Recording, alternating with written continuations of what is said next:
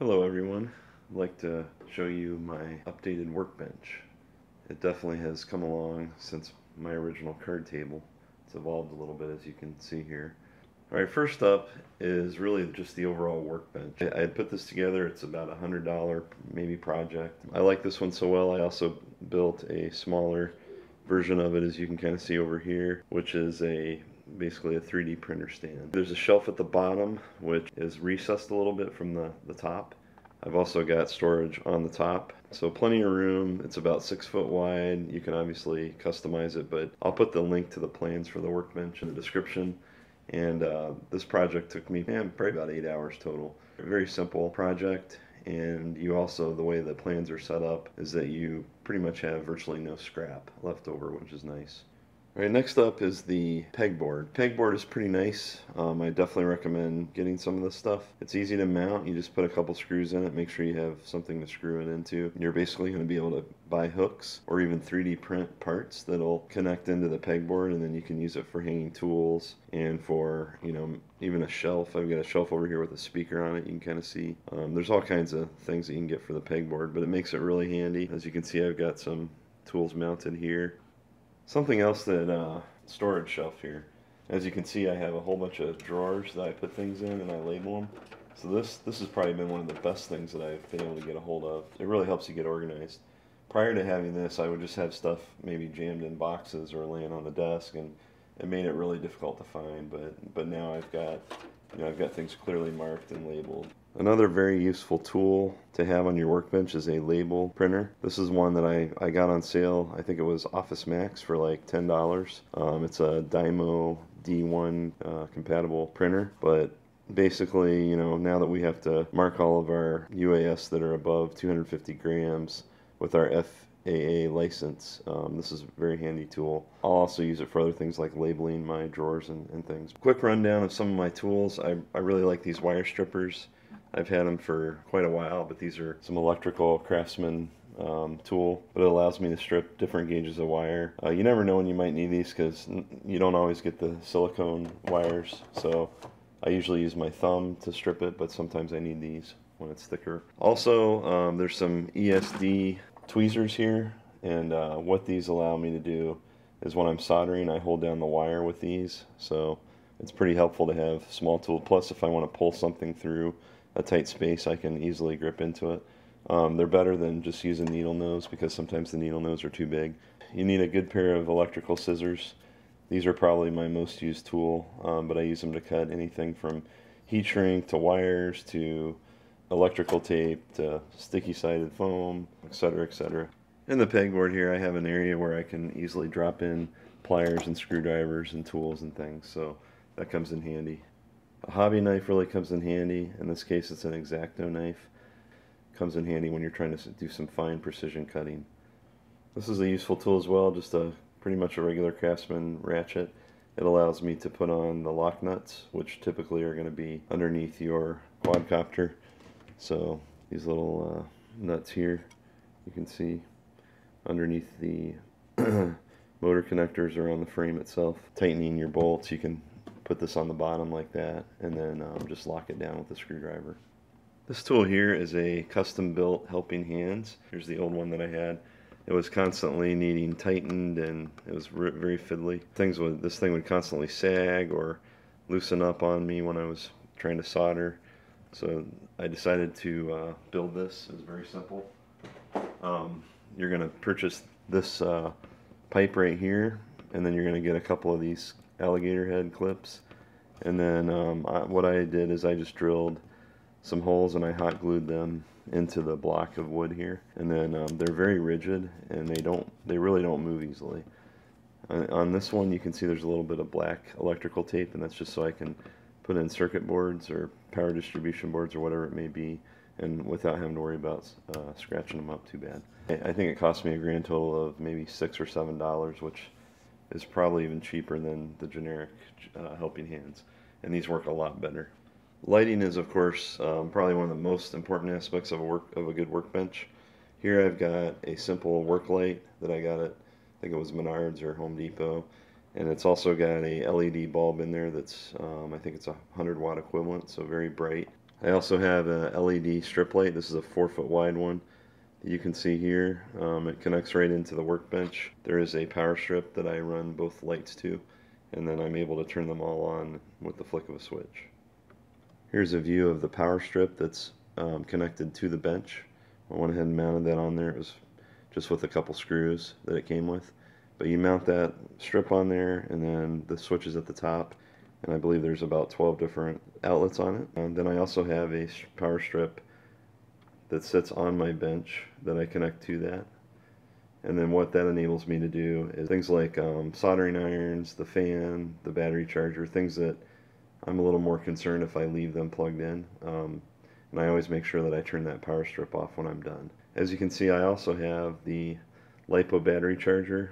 Right now I've got a couple of my 1S batteries being charged with a little mini charger on top of that. But I use the Sky RC, see the IMAX B6 charger. a really good charger. I can also use this parallel board here to charge maybe up to four or five batteries depending on um, how you know how much I'm trying to charge, but it works great. It does not have an independent power supply, this particular model, but it works fine for my needs. I'm typically only charging four or five batteries at a time. I also have an ammo box in the back, and that's where I store my batteries when not in use. This is a really good hot glue gun. Um, it takes the full-size glue sticks. It's a Surebonder is the name, but the nice thing about this is you don't see any cord on it, which is actually really great. So what you do is you plug it into the base that it comes with, and then you flip the switch to on, and about maybe two to three minutes later, you're going to see a little bit of glue extruding out of the, the nozzle here, which means it's ready to go. And then you just, you simply pick it up and then hot glue where you need it. I use it for everything, whether mounting things, helping keep things in place. Um, it, the glue bond works really well and helps keep things in there and it's of course not permanent so if you need to take things off or remove it you can do that pretty easily. This is a Wagner heat gun. I flip it up to about the third setting but does a really nice job of shrink, uh, doing the heat shrink. And no workbench is complete without some good soldering tools. As you can see here, I've got an 898D. Um, it comes with a rework tool, which is this. It's like a hot air gun, but I don't actually use that much. Um, so what I do use, of course, is the soldering iron. You can see it's got a nice barrel, fairly nice reservoir for the, the heat. And uh, I like how it's designed. There's a screw here that you just tighten, and it tightens everything up. And it came with um, probably 10 or 11 tips. This is the tip that I use. It's pretty small, but for the type of work that I'm doing right now, this is a, a good tip, especially on the smaller stuff. Also here is a solder smoke absorber. So I'll turn it on. You can hear it kick in, but it's basically a fan. It's pulling the air in. This There's a carbon pad here that absorbs all the fumes. And then you can change those out as you need to. But this comes in real handy when I'm whenever I'm heating up and doing soldering. That way I'm not smelling the fumes. They're they're going into this. Um, when I first started, I definitely probably smelled my fair share of fumes, and I remember getting lightheaded a few times. I was like, yeah, there's probably a better way. And since then, this has definitely been, you know, a benefit. You can see I've got the, the brass cleaning tool here. So I'll dip the tip of the soldering iron in here. And then what that'll do is that'll that'll clean off any any gunk that's on there, whether it be flux or excess solder. And then it'll give me a nice, oops, a nice, I get a lot of use out of this. Some people use the sponge. Sponge can still be handy for you know, helping get the uh, oxidation off there, a wetted sponge, but I, you know, the, I find that the brass tool is sufficient for me. The other important part is the 6040 rosin core solder. I use this because it's got a, you know, it really works well for electronics, and I use a 0.032 inch diameter. Um, that's big enough for my purposes. You don't want something too big because you're going to get solder everywhere and you'll have to desolder it. Speaking of desoldering, I use a solder pump a lot. So what this does is you pull it down and then if you have a, a bad joint, you just go in here and you loosen up the solder or heat it up and then you do that and it pulls it right in. And then um, you just empty it out by pushing this back down. So that's a really nice tool. Some people use the solder wick as well, which I, I have and I use. Um, this kind of works similarly, but instead of using air, you're using copper wire you put the copper wire down and heat and it, it draws the solder into it. It's also useful when you're using when you're doing desoldering or even when you're soldering to use a rosin solder flux. So that allows you to um, kind of control where the heat's going. And it helps uh, just make sure that you get a, a nice quick bond when you're soldering. The soldering station that I use also has a temperature, the ability to set a temperature. So when I turn it on, um, it'll basically allow me to control it to go up and down. And it heats up very quickly as you can see here. Depending on the soldering job, I'm usually anywhere from, usually around 300 degrees Celsius. So this is all reading out in Celsius. So that, that tends to be about the right temperature. If I'm doing smaller work, which I've, I've been doing recently, I might drop it down a little bit. So in this case, maybe the 280. An assortment of heat shrink. Um, I've got heat shrink kind of broader that might be used for bigger parts, and then I've got it all the way down to the smallest size here, which this is great for connecting like your video transmitter to the uh, camera wire. So I'll cut that up and heat shrink that over. This is an assortment of nylon standoffs. There's a mix of really short ones, low profile, as well as um, higher profile ones. So these are typically used when you want to mount your power distribution board above your uh, or below your Naze or your CC3D. The nylon standoffs come in handy when you're attempting to mount your flight controller over your power distribution board as you can kind of see here. These are, in this case, the bolts are black so they're a little bit harder to see. But the idea is you would run a screw from below the frame all the way up to the top and then you would put the spacers underneath.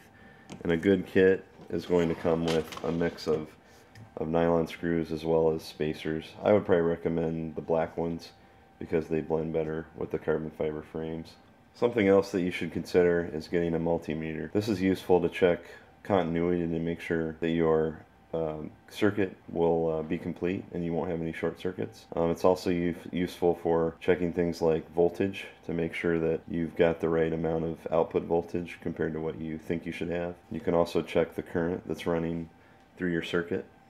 Make sure um, you're not going too high or too low. It's also useful for checking uh, the resistance.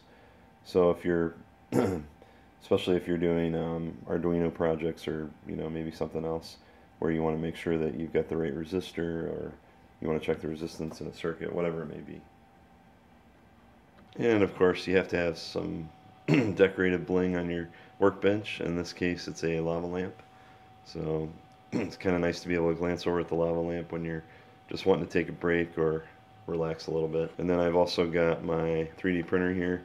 This is a MakerBot replicator. So this has uh, been a really helpful tool. Um, it's got a heated bed on it. It's also got two printer heads, although I only end up using one most of the time. And you can build from the SD card, which is which I find really helpful. So I've been able to print out numerous frames, landing feet, just a whole lot of things that that I've been able to print with that. It's a great tool.